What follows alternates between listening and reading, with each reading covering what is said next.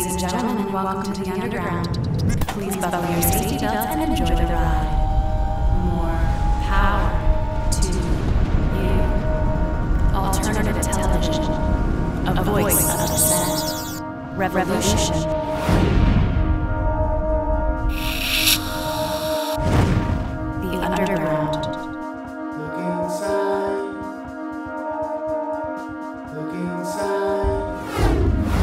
To the Underground.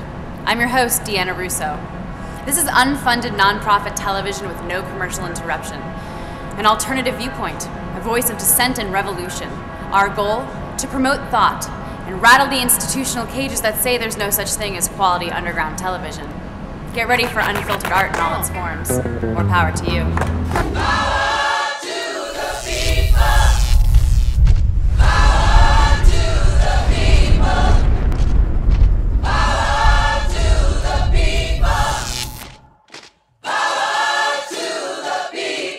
Good morning, everyone. I'd like to start with a brief statement by the President, September 11th. And with that, I will be glad to go to your questions. It's clear from the record that you, Karl Rove, or the President is lying. Why should we believe you now? Is that a rhetorical question or a logic puzzle, David? Scott, Karl Rove and Lewis Libby just dragged what was apparently a dead body behind your podium. That is part of an ongoing investigation, and I cannot comment on it at this time. was that a compromised CIA asset? Terry? Uh, I was going to follow up on the body, but Robert Novak and your predecessor, Ari Fleischer, just walked behind you holding hands with Prince Bandar. Does that have anything to do with the fact that Novak not only exposed Valerie Plame in his column, he also revealed her oil-related CIA front company on TV a few weeks later? Again, Terry. By the way, didn't Ari Fleischer step down on the same day that Novak exposed Plame? Again, Terry, that's part of an ongoing investigation. I want to talk about it, but this is not the time. Helen? Jeff Gannon just tiptoed behind you, carrying his shoes and clothes. Did someone just leak information for him to convey?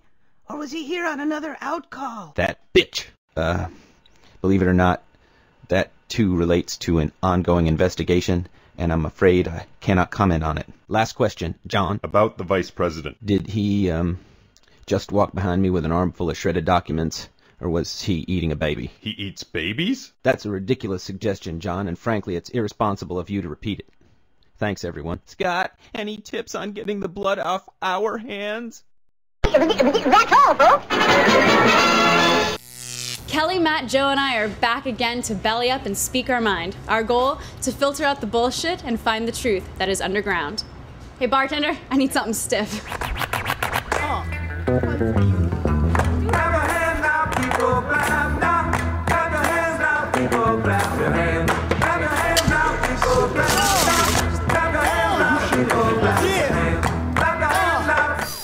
hold up. Y'all pretty disobedient right now. We're on the topic. Barroom politics. We're on the topic. Punch him in the face, D. What is up with this hyper surveillance? no, seriously, guys. It's like, I mean, with between satellites and, and censorship and, you know, the cameras at traffic lights. It's like, it's like, it's just think like we're afraid to really be ourselves because someone's always watching us. It's it's very Big Brother. I I Yeah, I don't honestly. I don't see what everyone's so upset about. I mean, I'm willing to pay this don't. price for my security Oh. and my no, no, no, safety. no, no, no. Do you really feel secure? What what what about someone always knowing where you are makes you feel safe? What what what is that? Accountability.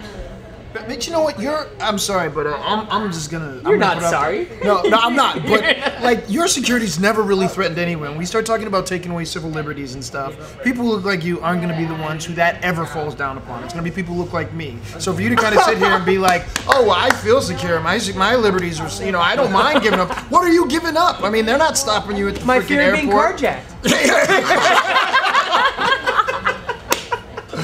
That's messed up, though. But you, you hear my point, though. You see my point, though. I mean, when I hear this argument, like, you know, everyone give up their liberties. Like, the people who were screaming this are the ones whose liberties are not going to be affected at all. But those are the people who have already. I mean, maybe not accepted, but are already accustomed to their freedoms being taken away. Excuse me? What I'm saying is, Yeah. you said this is more likely to affect me. Do you think it's not affecting you already? Uh, yeah. I, mean, what I'm what I'm worried about is when, like, for instance, there's a level of my liberties being like I live in Los Angeles, so like when I drive to Santa Monica, I take my liberties in hand with me every. You know, it's like I could be pulled over, whatever, but I accept that. But when we start getting to a level where, okay, now we're gonna make it actually legal to start pulling people out of their cars and out of their houses and holding them without representation and stuff. I'm not worried about that affecting you. I'm worried about that affecting me. So I'm like, no, let, let's let's let's let's remember the plot here a little bit. And then I get really scared when all the people who I know aren't going to be affected are the ones standing up going, "Hey, sure, by all means, let it happen." You know, so that's why like where we're going this hyper surveillance. I'm seeing it. I mean, when this whole thing originally when um, we were having the uh, uh, after 9/11 we were having the uh, the uh, Arab people in this country come forward and, and register themselves and stuff. And people are like, well, that's okay. That's what a good citizen would be. No, it's Nazi Germany is what it is. When my dads wear the yellow stars on their van. Where was that when um what's his name the little guy the Oklahoma bomber? Where were like all Hanyaki Hicks having to go and register themselves? Because You no one could find them. They were up in the hills. But I mean, was like- but the idea would have been ludicrous in this country for like, okay, every backwater, But the same thing happened during World War II with the Japanese, and I, I'm I, and I'm just I, I'm I agree with you. insanity on our country, by the way. No, I agree, but I'm saying that you know it's it, the difference is is a you know white people are the power holders in the country, but b it's easy when you have a visual target. When Mhm. you can say the person whose eyes or skin color looks like this, Mhm. That's that's that's our t- that's our target. That's our enemy. That's you know our problem. Right. That's what we have to look out for. So the onus is then for people like you to say like, no, don't take our civil liberties. Not because your civil liberties are going to be ex- uh, uh, affected, but because you recognize it. Mine aren't really going to be affected, but I'm part of the power structure that can make sure that See, others aren't. but- but- then, see, but the problem is, ah. it, it's it's ideas are. Oh, this is a tough one. See, when there's something that you truly believe in, when I you truly take believe- action. What what does action look like? I mean, like like what what are we gonna go? Like we're all gonna go down to the Walmart and pick up some rifles and go and storm Washington. I mean, that's not gonna get us anywhere. It's tempting. You know. I mean, all that's gonna get you is shot, killed, and, and gone, and you know a, a, little byline on the ten o'clock. Yeah, but that's over dramatic and not well planned out. Yeah, okay. what do you think? But when you have the majority of people that are already scared, sitting at home and shaking in the boots because every day at the bottom of the gu- uh, the fucking TV is like, oh, um, you know, alert has been raised to code red. Oh, it's code orange today, so maybe you can go to the grocery store. But code red, get in your bomb shelter and, and Stock make sure, that, paper yeah, make sure you have your stuff. And you already have a society that is shaking in their boots, or at least that's what the government is trying to do, is to keep people you- somewhat scared and on edge and not able to think clearly about going to Walmart and getting the guns because they already think that the government's doing that for them. So you guys stay at home, sit in your bomb shelter. We'll take care of everything. You know. See, but here's This is contradicting what you just said. If we're saying that like divide and conquer is the way to control society, now you're saying like having a common enemy is a way for this five percent to stay in No, power. I, I didn't say that. I'm saying that's what he said.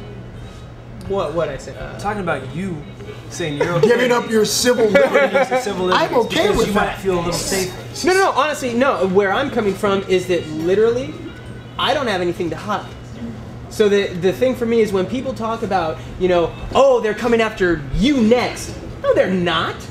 I, and that's what I was talking that- about with the initial. But wait for that one moment where you go online and you're at Google and you Google some word you heard for the day. Like someone says, "Hey, you ever heard of this club? It's called the blah blah blah club," and you're like, "What is that?" You go home, you put it in Google. All of a sudden, it's like it's like child porn ring, and then the government gets that through the, their ability to, to search information on search engines. You have someone knocking at your door the next day, be like, "Oh, you're checking out child porn? Come with me. You're going It's a good downtown." theory. It's not a theory. It's happening right now. And this idea, this this whole idea of what you were saying, how how you can allow part of you to to be infiltrated and to be looked over and and to pass the test so that you don't you know get pulled out of line. But still, they're looking at you.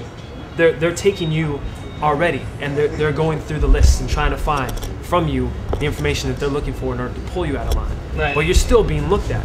But they have no right to look at you. Like we should empower ourselves to make those that are in power work for us instead of us working for them.